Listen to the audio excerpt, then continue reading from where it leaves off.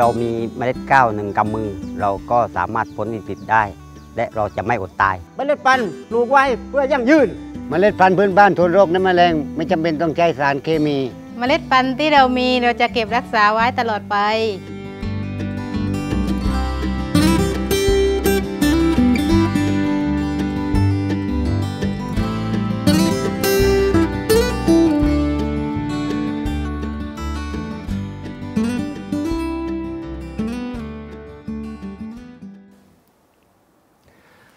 วัสดีครับ นี่คือปฏิบัติการติดตามสื่อมวลชนท้องถิ่นทั่วประเทศที่ร่วมเปลี่ยนแปลงสังคมด้วยการผลิตข่าวที่มีคุณภาพ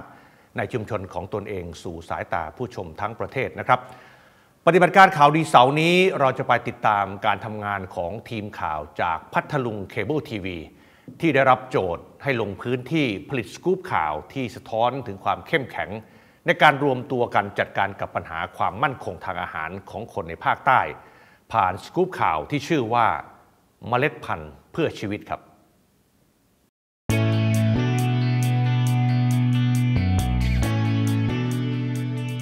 ชื่อพัทรพรรัตนชูค่ะ ทำอยู่ที่เคเบิลพัทลุงทีวีก็ 3 ปีแล้วค่ะ อยู่ฝ่ายผู้สื่อข่าวแล้วก็ผู้ประกาศข่าว แล้วก็หน้าที่ก็เขียนข่าวด้วยค่ะ ชื่อธนบดีปานทุ่มครับ ก็ทำงานอยู่ที่เคเบิลทีวีแห่งนี้นะครับ ก็ทำมา 4-5 ปีแล้วครับ ในตำแหน่งผู้ช่วยบรรณาธิการฝ่ายข่าว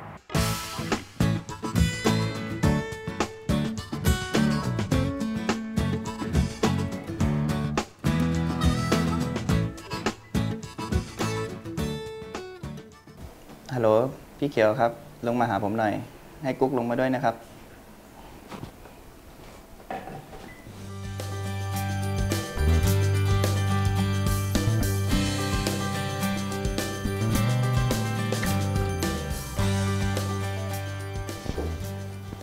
ไม่ทราบว่าบกมีอะไรครับ พอดีผมเห็นเมล็ดพันธุ์ข้าวที่จังหวัดพัทลุงน่าสนใจมาก แล้วก็ตอนนี้เนี่ยเรามีปัญหาเรื่องเออภาคใต้เนี่ยไม่ค่อยปลูกข้าวกันเท่าไหร่ เดี๋ยวนี้คนบ้านเราเนี่ยจะปลูกยางพาราเป็นส่วนมาก แต่ว่าเขาไม่ได้มองถึงคุณค่าว่าถ้าเอ่อไม่มีข้าวแล้วเนี่ยเขาจะกินอะไรกัน ภาคใต้บ้านเราเนี่ยนะครับจังหวัดพัทลุงถือว่าเป็นจังหวัดที่มีการปลูกข้าวมากที่สุด ในในในภาคใต้เป็นปูนาหูข้าวของพัทลุงของของภาคใต้อืมนะครับ แต่ว่าปัจจุบันนี้เนี่ยเห็นที่เอ่อดูเนี่ยค่อนข้างที่จะลดน้อยลงนะครับ อันนี้สาเหตุไม่แน่ใจว่าจะมาจากอะไรนะครับ เพราะว่ามีการปลูกข้าวน้อยลง ซึ่งถือว่าเป็นปัญหาที่ที่น่าสนใจนะครับ แล้วก็ตอนนี้ไปพัทลุงเราเนี่ยต้องต้องซื้อข้าวจากพื้นที่อื่นภาคอื่นเนี่ยมามาบริโภคอยู่ ก็ถือว่าเป็นปัญหาใหญ่ ตอนนี้เห็นเป็นมีความมั่นคงทางด้านอาหารทางด้านภาคใต้เนี่ยมีเป็นวิกฤต นั้นเนี่ยเราน่าจะให้คนเนี่ยได้ตระหนักถึงเมล็ดพันธุ์ต่างๆ ของในจังหวัดพัทลุงเองเออที่ผมเห็นนะครับที่ไปทำข่าวทำไรมาเนี่ยก็เห็นนี่ก็มีที่บ้านเอ่อท่าช้างเนี่ยอยู่พนังตุงเนยนะครับเพื่อนคนนั้นเนี่ยเขามีการตั้งเป็นชมรมเกี่ยวเรื่องของเอ่อวิจัยรวงข้าวนะครับ ซึ่งก็เกี่ยวเรื่องของเอ่อเมล็ดพันธุ์ข้าวตรงนี้ไม่ว่าจะเป็นเอ่อข้าวอินทรีย์หรือว่าอะไรเนี่ยนะครับ ซึ่งก็น่าจะเข้ากับเรื่องตรงนี้ได้ดีนั้นก็ผมก็รบกวนให้คุณสองคนไปช่วยทำสกู๊ปอืม ตรงนี้สักห้านาทีนะครับครับ เพื่อมาได้สื่อให้ประชาชนได้ชมกันนะครับ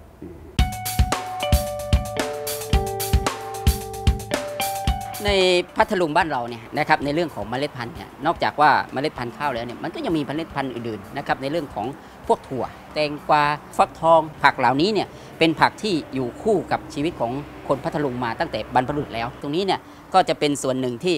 อ่าสร้างความตระหนักให้กับเอ่อ คนที่อยู่ในชุมชนตรงนั้นเนี่ยให้เขาได้เห็นความสำคัญของการ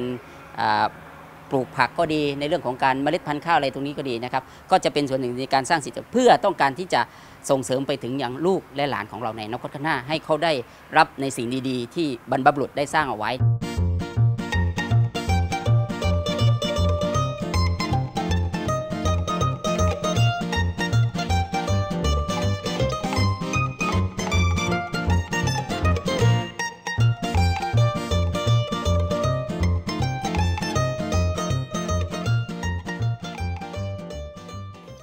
การหยิบยกประเด็นเรื่องเมล็ดพันธุ์โดยเฉพาะพันธุ์ข้าวและผักพื้นบ้านของทีมข่าวพัทลุงเคเบิลทีวีมานำเสนอนั้น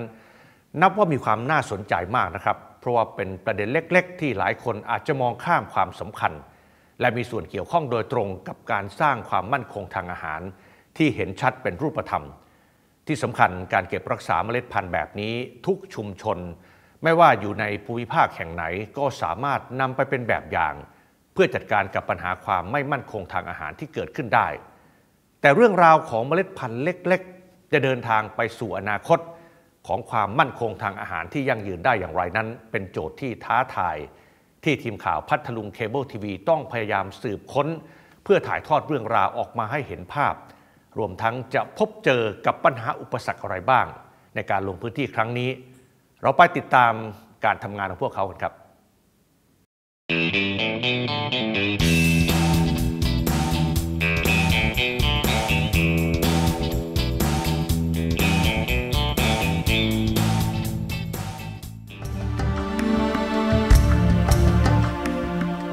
ในอดีตบ้านท่าช้างเป็นชุมชนที่ตั้งอยู่ในเขตลุ่มของจังหวัดพัทลุง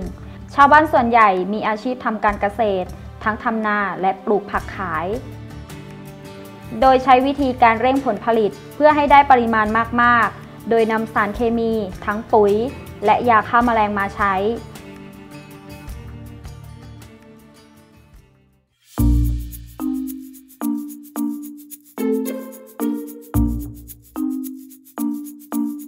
พันธุ์ข้าวและผักก็พึ่งพิงการซื้อจากภายนอกเป็นหลัก ส่งผลให้ความหลากหลายของพันธุ์พืชอาหารเริ่มลดลง รวมทั้งยังเกิดปัญหาสุขภาพ และความไม่มั่นคงทางอาหาร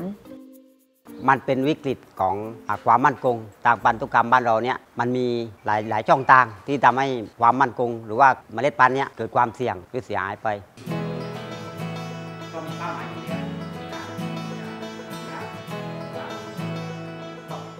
จากปัญหาที่เกิดขึ้น ชาวบ้านจึงร่วมกันทำประชามติ เพื่อค้นหาคำตอบและทางออกร่วมกัน จนกระทั่งได้ข้อสรุปว่า จะร่วมกันแก้ปัญหาความมั่นคงทางอาหาร ต้องเริ่มจากการเก็บรักษาเมล็ดพันธุ์ โดยเฉพาะพันธุ์พืชพื้นบ้านก่อนและความเสี่ยงของเมล็ดพันธุ์ข้าวผืนบ้านเราก็ก็ก็มีเหมือนกัน ที่เราเก็บอนุรักษ์พันธุ์มันเนี้ยประมาณ 30 สายพันธุ์เราก็ขยายปลูกไปแต่ละสายพันธุ์ที่ที่เราต้องการก่อน สิ่งที่เราจะทำต่อก็คือการอนุรักษ์พันธุ์เหล่านี้พันธุ์ดั้งเดิม พื่อความมั่นคงทางด้านอาหารของลูกหลาน ในอดีตมาจนปัจจุบันเนี้ยมีการทำเกษตรเป็นหลัก แล้วก็มีปัญหาในเรื่องของอาเมล็ดพันธุ์ลดลงสูญหายไปบางสายพันธุ์ แล้วก็เรื่องอาลิงฟ้าอากาศที่มันเปลี่ยนแปลงไปทำให้เมล็ดพันธุ์เนี่ยหลายสายพันธุ์ก็สูญหายไป เราก็มาตั้ง กำตามกับตัวเองแล้วก็สมาชิกว่า ถ้าเราไม่มีเมล็ดพันธุ์เนี่ยเราต้องซื้อทุกครั้งเวลาเราปลูกเนี่ยเหมือนกับว่าเราไม่มีอะไรเลย ต้องซื้อต้องไปขอจากที่อื่น แต่ถ้าว่าเราเป็นเจ้าของเมล็ดพันธุ์เองแล้วเนี่ยอ่าชุมชนช่วยกันเก็บรักษาไว้ แล้วก็ปลูกเเราสามารถที่จะแลกเปลี่ยนกันได้โดยไม่ต้องซื้อ เราเป็นเป็นอิสระตรงเนี้ยเราก็สามารถที่จะ อยู่อย่างมีมีมีอาหารกินอยู่ตลอด ไม่ต้องไปพึ่งปัจจัยการผลิตจากภายนอกเลย อันนี้ถือถือว่าเป็นความมั่นคงทางด้านอาหารครับ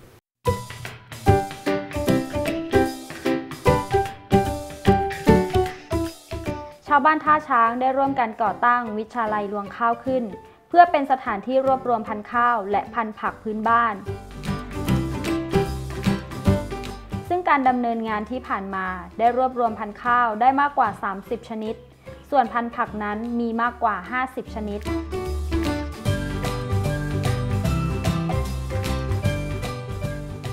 ค่ะณบริเวณจุดตรงนี้ก็จะเป็นศูนย์รวมพืชพันธุ์ข้าวพื้นบ้านของทางวิชาลัยรวงข้าวนะคะ ที่มาปลูกไว้เพื่อให้ทาง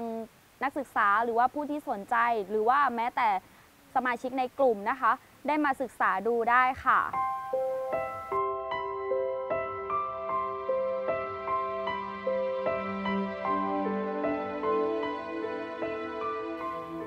หลังจากที่ทีมข่าวพัทลุงเคเบิลทีวีลงพื้นที่ และได้เห็นกลไกในการขับเคลื่อน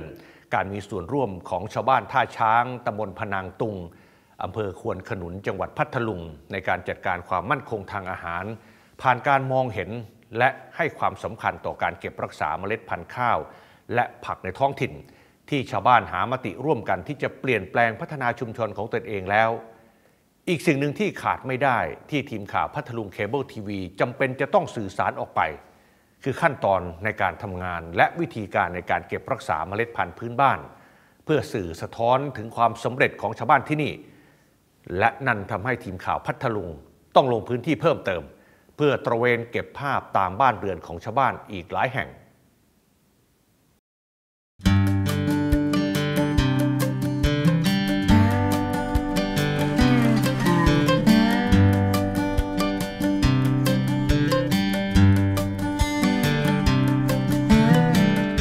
ตรงนี้ก็จะเป็นบ้านของคุณพี่ชิมเพชรรัตน์ค่ะ ซึ่งจะเป็นศูนย์รวมของเมล็ดพันธุ์ข้าว หลังจากที่ทางชาวบ้านหรือว่าประชาชนละแวกนี้นะคะ เก็บเกี่ยวมาเสร็จแล้วก็จะเอามาตากแดดประมาณ 2 แดดด้วยกัน แล้วก็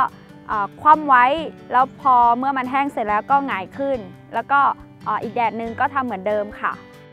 เราเราใช้เนี่ยเนี่ยที่ว่าตากแหวนเนี่ยเราใช้กี่แดดอะสองเด็ดสองแดดสองแดดหมายถึงวันนี้และพรุ่งนี้ครับ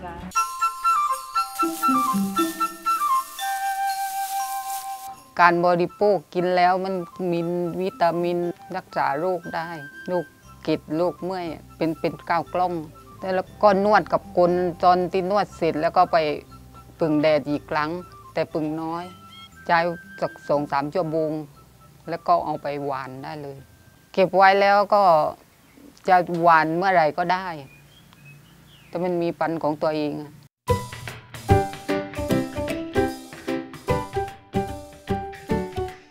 ค่ะ เมื่อสักครู่ระหว่างเดินทางมาพี่ยมรนะคะ เล่าให้ฟังว่าณจุดตรงนี้ค่ะจะเป็นศูนย์แลกเปลี่ยนเรียนรู้ แล้วก็แลกเปลี่ยนพฤติกรรม ในส่วนของอการแลกเปลี่ยนพันธุ์ข้าวหรือว่าพันธุ์พืชผักสวนครัวต่างๆนะคะ โดยชาวบ้านละแวกนี้จะมาที่นี่เพื่อเป็นจุดรวมตัวค่ะณบริเวณนี้ขณะนี้นะคะ ชาวบ้านที่นั่งรวมตัวกันตอนนี้นะคะ ก็จะมีการแลกเปลี่ยนออย่างเช่น คนหนึ่งมีเมล็ดพันธุ์ผักชนิดหนึ่งแล้วก็อีกคนหนึ่งมีอีกชนิดหนึ่งก็จะมาแลกเปลี่ยนกันค่ะ ระหว่างกันซึ่งกันและกัน การปลูกผักในเมล็ดพันธุ์นี่มันดีสำหรับเกษตรกรที่จะสร้างอนาคตที่ยั่งยืน แล้วก็มีพืชพันธุ์ไว้ปลูกสำหรับของเกษตรกรโดยตรง ไม่ต้องอาศัยภายนอก ถ้าอาศัยภายนอกตลอดเราจะไม่ไหวเกษตรกรยังซื้อเมล็ดพันธุ์นี่เป็นเป็นปัญหาตลอดเลย ต้องควบควบคุมเมล็ดพันธุ์หมดเลย เราไม่เป็นเกษตรกรที่เต็มตัวหรอกเพื่อให้เกษตรเรายั่งยืนก็ต้องอาศัยเม็ดพันธุ์เราแลกเปลี่ยนกันเนี่ยไม่ใช่อาศัยตลาดนะเก็บไว้ได้ปั้นมันเก็บแบบลูกอยู่อื่นในช่วงนี้มันไม่เลวถึงที่เลวมันมีปั้นแต่ว่าไม่เก็บไว้ก็คือมันไม่ปั้นถึงเก็บแบบลูกช่วงล่างเหล่า ให้ไปเกไอ้หมดเลยครับเพราะว่าคนนิยมข้าวตู้ไอ้ข้าวโกโก้ครับตอนนี้ผมว่าอนุรักษ์ข้าวเจียงข้าวเล็บนอก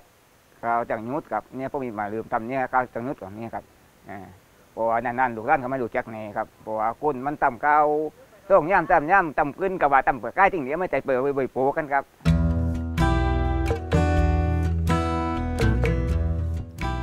ชาวบ้านท่าช้างตำบลพนางตุงอำเภอควนขนุนจังหวัดพัทลุง พวกเขาเชื่อว่าการเก็บเมล็ดพันธุ์พืชพื้นบ้าน รักษาพันธุกรรมท้องถิ่น โดยเฉพาะเมล็ดพันธุ์ข้าวและพันธุ์ผักพื้นบ้าน จะตอบคำถามของการทำให้คนในชุมชน มีอาหารเพียงพอต่อการบริโภค และมีระบบอาหารที่ดีมีคุณภาพ ปลอดสารพิษ และคนในชุมชนสามารถเข้าถึงได้ รวมทั้งยกระดับไปสู่การพึ่งตนเองของชาวบ้าน เพื่อมีคุณภาพชีวิตที่ดี มีรายได้ดูแลครอบครัว ชุมชนมีสุขภาวะ สิ่งแวดล้อมดี และเอื้อต่อวิถีการดำรงชีวิต ขับเคลื่อนสร้างชุมชนน่าอยู่ พึ่งตนเองได้ทุกๆด้าน และตลอดระยะเวลาการทำงานกว่า 3 วันที่ทีมข่าวจากพัทลุงเคเบิลทีวีลงพื้นที่ถ่ายทำนำมาสู่การร้อยเรียงบทบรรยาย ตัดต่อภาพและเสียง จนเป็นสกู๊ปข่าวที่พร้อมออกอากาศสู่สายตาคนทั้งประเทศใน 5 นาทีต่อจากนี้ครับ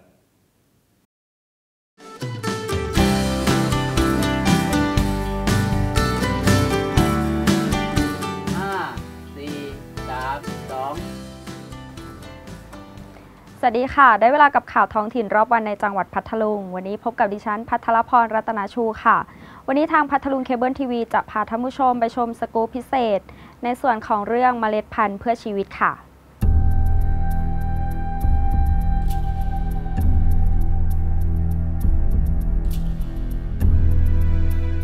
แต่เดิมภาคใต้เป็นภูมิภาคที่มีความมั่นคงทางอาหารสูง แต่วันนี้กลับไม่เป็นเช่นนั้น เพราะปัจจุบันภาคใต้ 14 จังหวัด เกิดปัญหาปลูกข้าวไม่พอกิน เนื่องจากหลายสาเหตุ ทั้งกระแสความเจริญที่รุกคืบ การเปลี่ยนแปลงของสภาพภูมิอากาศ รวมทั้งพื้นที่ทำการเกษตรที่หันไปปลูกปาล์มและยางพารากันมากขึ้น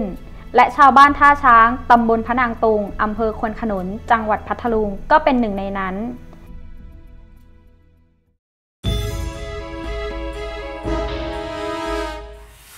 ในอดีตบ้านท่าช้าง เป็นชุมชนที่ตั้งอยู่ในเขตลุ่มของจังหวัดพัทลุง ชาวบ้านส่วนใหญ่มีอาชีพทำการเกษตร ทั้งทำนาและปลูกผักขาย โดยใช้วิธีการเร่งผลผลิตเพื่อให้ได้ปริมาณมากๆ โดยนำสารเคมี ทั้งปุ๋ย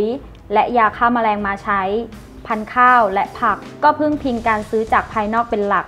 ส่งผลให้ความหลากหลายของพันธุ์พืชอาหารเริ่มลดลง รวมทั้งยังเกิดปัญหาสุขภาพ และความไม่มั่นคงทางอาหาร ได้เห็นปัญหาหลาย ๆ เรื่องครับ อย่างเช่นการการทำนาตั้งแต่อดีตมาถึงปัจจุบันนะครับ ในสมัยก่อนเนี่ยมีทั้ง 30 กว่าสายพันธุ์ที่ปลูกในพื้นที่ พอมาเปรียบเทียบกับปัจจุบันเนี้ยมีแค่2สายพันธุ์ก้าวเชี่ยงกับก้าวสังหยดเมื่อรู้ปัญหาตรงนี้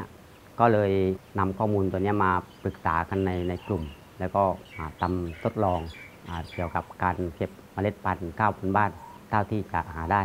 ปัจจุบันก็มีประมาณ 30 สายพันธุ์ที่ที่เก็บอนุรักษ์ไว้ครับบางสายพันธุ์ก็ได้ขยายต่อไปสู่สมาชิก แล้วก็สิ่งที่ที่เห็นนอกจากพันธุ์ข้าวพื้นบ้านที่หายไปแล้วเนี่ยก็มีในเรื่องของอปักอ่าปลาในนาก็ก็ลดลง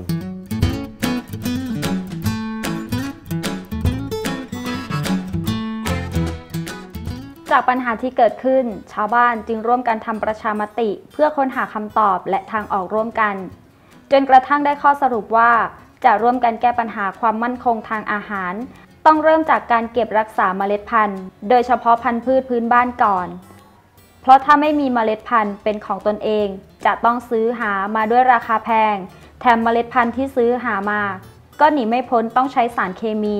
ซึ่งเป็นอันตรายต่อสุขภาพ คือเมล็ดพันธุ์ที่เราเก็บรวบรวมในชุมชนเนี่ยคือความสำคัญของเมล็ดพันธุ์ก็คือว่าการที่เรามีเมล็ดพันธุ์เนี่ยเราเท่ากับว่าเป็นเจ้าของอปัจจัยการผลิตอย่างหนึ่ง คือเมล็ดพันธุ์พื้นบ้านเหมือนบอกตั้งแต่ต้นเลยว่ามันเป็นสมบัติของปู่ย่าตายายที่เราสืบทอดมาเนี่ยคือสิ่งที่ดีที่สุดในการเก็บเมล็ดพันธุ์พื้นบ้านก็คือว่า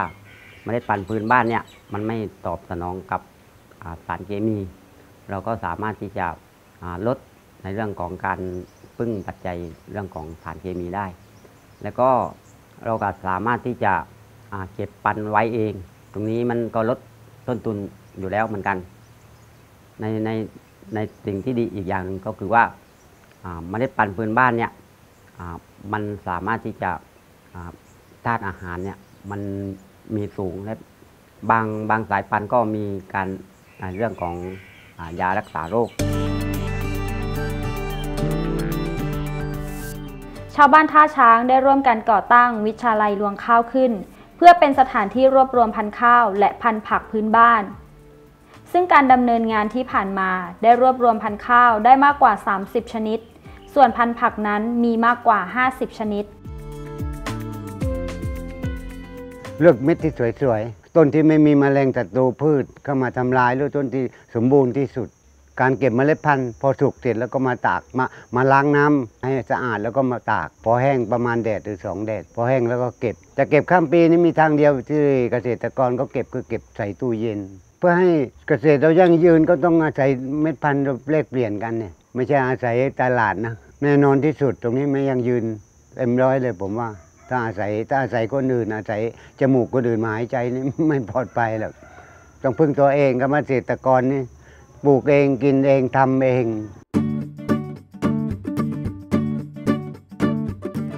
สิ่งที่ชาวบ้านท่าช้างตำบลพนางตุงอำเภอควนขนุน จังหวัดพัทลุงร่วมกันทำเป็นเป็นตัวอย่างหนึ่งของชุมชนที่ร่วมกันศึกษาปัญหาของตนเอง และช่วยกันหาทางออก จนกลายเป็นชุมชนที่มีความมั่นคงทางอาหารที่ยั่งยืน นอกเหนือจากนั้นพวกเขายังทำหน้าที่เผยแพร่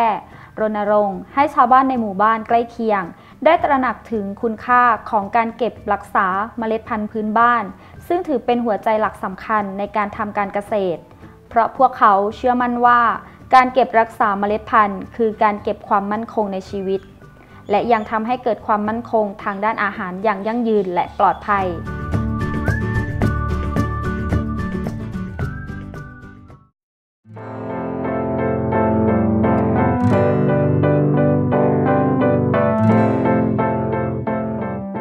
วันนี้เมล็ดพันธุ์เม็ดเล็ก ๆ ได้เดินทางไปสู่อนาคตของความมั่นคงทางอาหารที่ยั่งยืน ซึ่งผลที่ได้จากการดำเนินโครงการนั้นมีหลายเรื่อง ทั้งอิสรภาพทางด้านเมล็ดพันธุ์ข้าว และผักในการเพาะปลูก การเกิดแปลงนาและสวนผักอินทรีย์กว่าร้อยไร่ สิ่งแวดล้อมและร่างกายของเกษตรกรดีขึ้น เพราะไม่ต้องใช้สารเคมี กุ้งหอย ปูปลา และผักในนาสามารถใช้กินอยู่ได้อย่างพอเพียงและปลอดภัย และยังทำให้พื้นที่บ้านท่าช้างตำบลพนางตุงอำเภอควนขนุนจังหวัดพัทลุงแห่งนี้ กลายเป็นศูนย์เรียนรู้ด้านความมั่นคงทางอาหาร ซึ่งเกือบทุกๆวัน จะมีคนมาศึกษาดูงานมากมาย เพื่อนำกลับไปปรับใช้ในพื้นที่ของตัวเอง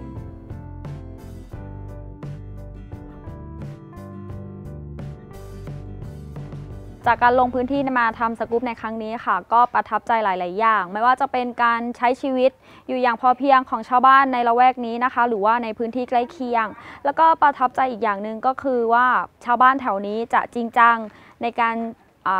รวบรวมกันในการแลกเปลี่ยนความรู้หรือว่าในส่วนของเมล็ดพันธุ์ต่าง ๆ นะคะ ตรงนี้เนี่ยก็จะเป็นส่วนหนึ่งที่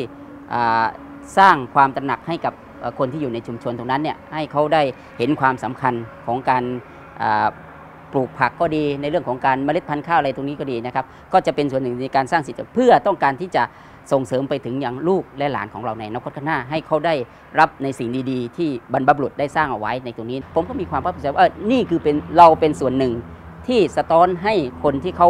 ดูรายการเนี่ยได้เห็นว่าเออเนี่ยในพัทลุงมันก็มีสิ่งดีๆเหล่านี้นะครับ เพราะพันธุ์ข้าวพันธุ์ผักพื้นบ้าน คือมรดกแห่งภูมิปัญญาบรรพชน คือหลักประกันความมั่นคงทางด้านอาหารของคนไทยทุกคน ที่ทุกชุมชนสามารถนำไปเป็นแบบอย่างได้ ขอเพียงตระหนักในคุณค่าของการเก็บรักษาเมล็ดพันธุ์พื้นบ้านไว้ ไม่ให้สูญหายก็เท่ากับรักษาความมั่งคั่งทางอาหาร และความมั่นคงของชีวิตสำหรับเกษตรกรและชาวไทยทุกคนได้แล้วล่ะครับ ติดตามการใช้สื่อหลากหลายรูปแบบเพื่อปฏิบัติการเปลี่ยนแปลงสังคมได้ในรายการ ปฏิบัติการข่าวดีในวันและเวลาเดียวกันนี้ สวัสดีครับ